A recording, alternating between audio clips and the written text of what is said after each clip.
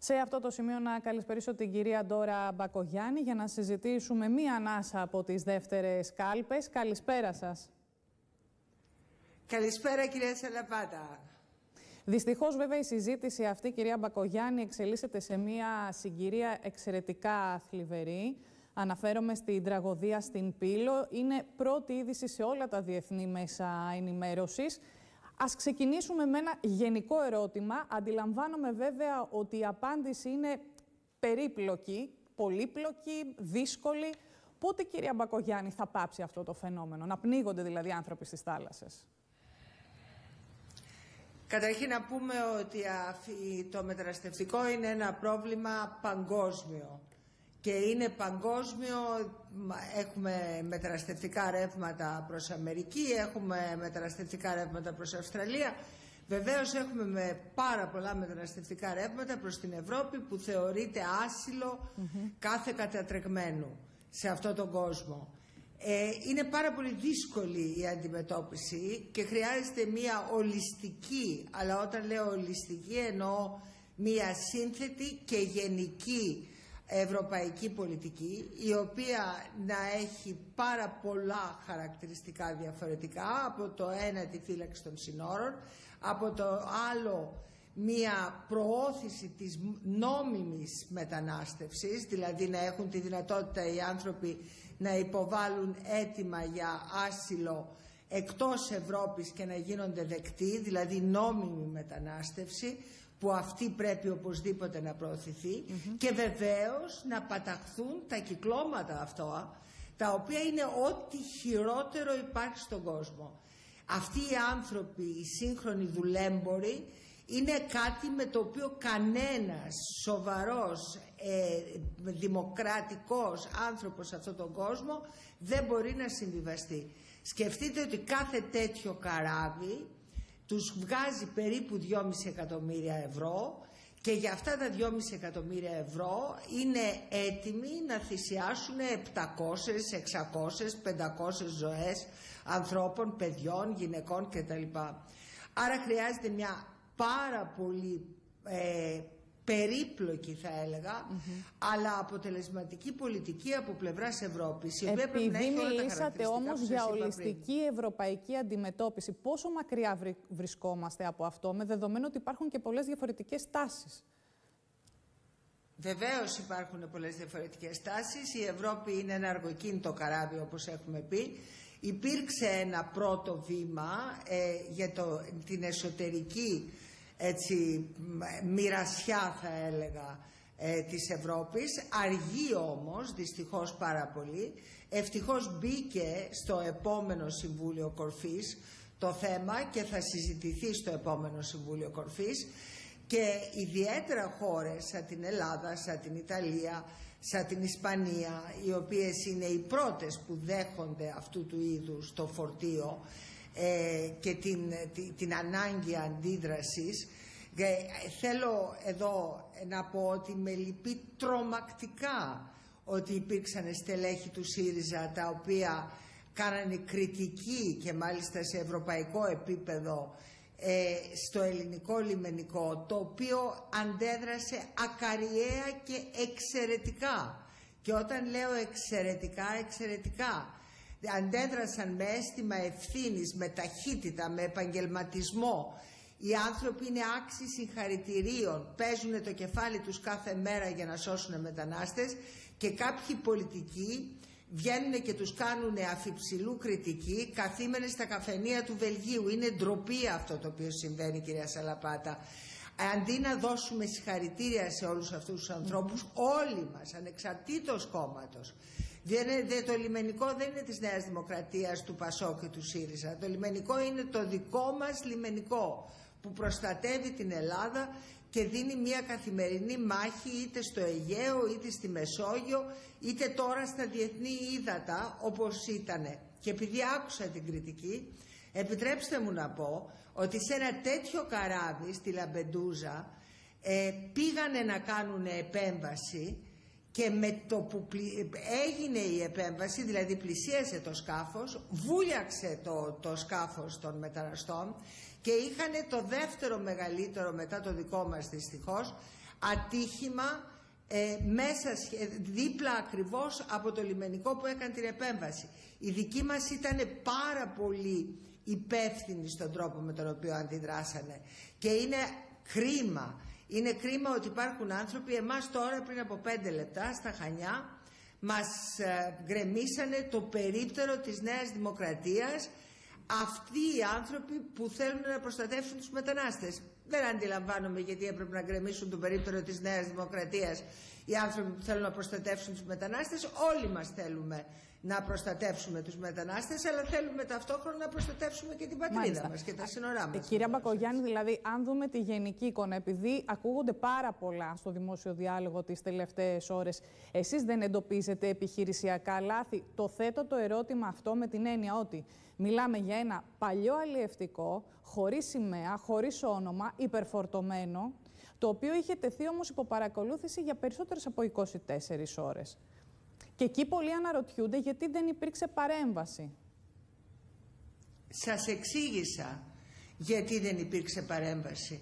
Διότι αν υπήρχε παρέμβαση και αυτή η παρέμβαση σε ένα τόσο υπερφορτωμένο σκάφος γίνει ενάντια στη βούληση του καπετάνιου, ο οποίος καπετάνιος δήλωσε καθαρά ότι δεν επιθυμεί κανενός είδους βοήθεια και πέταξε και τα τρόφιμα στη θάλασσα που του δώσανε τα φορτηγά πλοία τα οποία το πλησιάσανε, εάν γίνει δηλαδή μία παρέμβαση με τη βία σε ένα σκάφος, ο κίνδυνος να γίνει αυτό που έγινε τελικά από μόνο του είναι πάρα πολύ μεγάλος.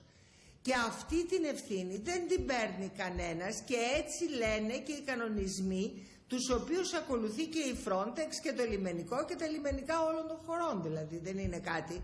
Το συνοδεύει σε ένα τέτοιο πλοίο μέχρι να φτάσει κάπως σε ένα ασφαλές λιμάνι ώστε αν ομιγέννητο κάτι συμβεί να, κάνει, να δώσεις βοήθεια στους ανθρώπους. Αλλά εάν πας με τη βία ενάντια στη βούληση του καπετάνιου να, να, το, να το πιάσεις το πλοίο δηλαδή και να, να το ελέγξεις με 750 ανθρώπους απάνω σε πιο κάραβο, ο κίνδυνος να βυθιστεί είναι πάρα πολύ μεγάλος και βεβαίως αυτό δεν το παίρνει κανένας απάνω του. Μάλιστα. Το 750 βέβαια που λέτε δεν ξέρω, επειδή δεν υπάρχει επίσημη ενημέρωση και ακούγονται επίσης πάρα πολλά αναφορικά είναι... με τους αριθμούς. Μπορεί να είναι και λιγότεροι, αλλά το είπαμε και νωρίτερα ότι αυτό δεν αναιρεί την τραγωδία του πράγματος σε καμία περίπτωση. Έτσι. Λοιπόν. Ε, Ακριβώς, κυρία Σαλαπάτα. Αν, αν χαθήκανε 500, αν χαθήκαν 50 ή 100 παιδιά, Μα ένα παιδί να χαθεί είναι μια τραγωδία τώρα. Τι συζητάμε; Δεν το συζητάμε αυτό. Λοιπόν, θέλω λίγο να πάμε στο θέμα της Ροδόπης. Επίσης γίνεται πάρα πολλής λόγος. Να πάμε. Ο κύριος Τσίπρας ε, από την περιοδία που έκανε στην Κρήτη το κράτησε πολύ ψηλά στην ατζέντα. Έδωσε και μία εφόλη στη ύλη συνέντευξη στην εκπομπή Αντιθέσεις και στο Γιώργο Σαχίνη και θέλω λίγο να μου σχολιάσετε κάποια σημεία της συνέντευξης αυτής. Ο ίδιος λοιπόν κατηγόρησε τον Κυριάκο Μητσοτάκη για ψεύδι είπε ότι ενημερώθηκε μετά τις εκλογές πως έλαβε φάκελο, έναν φάκελο με απόρριτο υλικό της ΕΕΠ, στον οποίο γινόταν αναφορά για όλους τους υποψηφίους της μουσουλμανικής μειονότητας στη Θράκη και δεν το προχώρησε από εκεί και κάτω, χωρίς να τον πάρει ο κύριος Μητσοτάκης έναν τηλέφωνο, χωρίς να έχει ενημέρωση από το διοικητή της ΕΕΠ. Εσείς αυτά πώς τα σχολιάζετε; Λέω ότι όλα αυτά εάν ίσχυαν, ένα πράγμα ισχύει ταυτόχρονα. Ότι ο τοπικός ΣΥΡΙΖΑ είχε ενημερώσει τον κύριο Τσίπρα πλήρως. Διότι ισχύει ότι σε μια μικρή περιοχή όπως είναι η Κομωτινή, οι άνθρωποι γνωρίζονται μεταξύ τους. Πόσο μάλλον τα στελέχη των κομμάτων.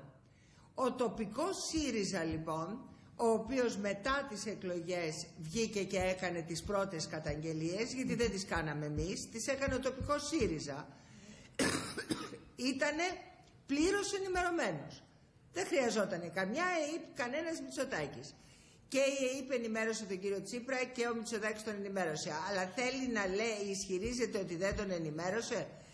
Ε, τον ενημέρωσαν τα στελέχη του ΣΥΡΙΖΑ τα τοπικά.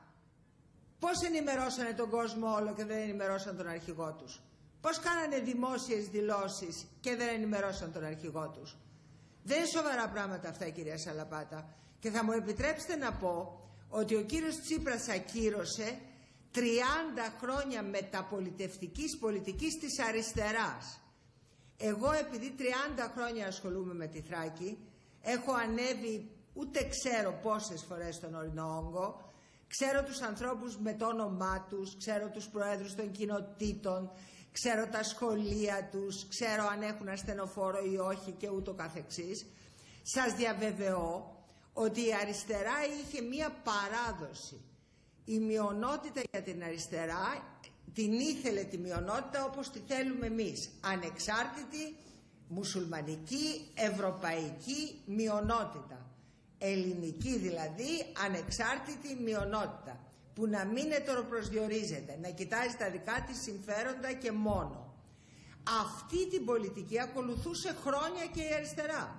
Δεν υπάρχει καμία αμφιβολία. Με εξαίρετους βουλευτές. Ακόμα θυμάμαι τον Μουσταφά Μουσταφά. Έναν από τους πιο άξιους βουλευτές του Ελληνικού Κοινοβουλίου μουσουλμάνος. Αριστερός ο άνθρωπος. Όλη του τη ζωή αριστερός. Άλλο λοιπόν το ένα και άλλο το άλλο. Τώρα για μία κούφτα ψήφους, δυστυχώς, ο κύριος Τσίπρας έκανε ότι δεν καταλάβαινε. Ε, τώρα βέβαια θέλω να σταθώ και σε κάτι άλλο, γιατί ο ίδιος πήγε και ένα βήμα παραπέρα και είπε ότι δύο εβδομάδες μετά από το επίμαχο συμβάν της ενημέρωσης, εννοώ με τον τρόπο που ισχυρίστηκε ότι έγινε, ε, παρατηρήθηκε, σημειώθηκε διαρροή στην εφημερίδα πρώτο θέμα. Ο ίδιος ισχυρίστηκε ότι η διαρροή αυτή έγινε όπως βολεύει το αφήγημα της Νέας Δημοκρατίας. Αλλά εγώ δεν θα σταθώ τόσο σε αυτό. Θέλω λίγο να μας εξηγήσετε τόσο απλό είναι να γίνει μια τέτοια διαρροή απόρριτων πληροφοριών και σε τι εξυπηρετεί; Πού να ξέρω εγώ κύριε Σαλαπάτα μου; Ούτε ξέρω αν έγινε διαρροή, ούτε ξέρω για ποιο πρώτο θέμα μιλάτε και για ποιο, για ποιο στοιχείο του πρώτου θέματος μιλάτε αυτή τη στιγμή. Ειλικρινώς, ε, επειδή τρέχω και έκανα ομιλίες στη Θεσσαλονίκη, στη Ροδόπη, γύρισα, είμαι στα Χανιά τώρα κτλ. Δεν ξέρω για ποια διαρροή μιλάει ο κύριος Τσίπρας. Αν μόλις μάθω ευχαρίστω να σας απαντήσω. Αλλά δεν ξέρω πώς γίνονται οι δημοσιογραφικοί, πού μαθαίνετε εσείς οι δημοσιογράφοι τις πληροφορίες σας. Και ε, συγχωρέστε με, αλλά δεν θα απολογηθώ εγώ για μία διαρροή. Το έχω ιδέα γιατί μιλάει.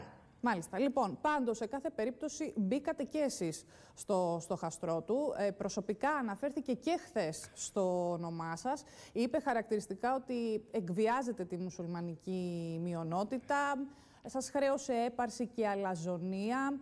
Είπε χαρακτηριστικά ότι όποιος θα έχει αντίθετη βούληση από την παντοδύναμη εξουσία της οικογένειας, έτσι το είπε επιλέξει, θα περάσει δύσκολα και το άνοιξε λέγοντας ότι μετά τους μουσουλμάνους θα ακολουθήσουν και άλλοι εκπαιδευτικοί, νοσηλευτές και άλλοι επαγγελματίες. Καλά. Καλά. Ε, ο κύριος Τσίπρας έχει μείνει κολλημένος στην επιχειρηματολογία την οποία είχε στην πρώτη προεκλογική περίοδο.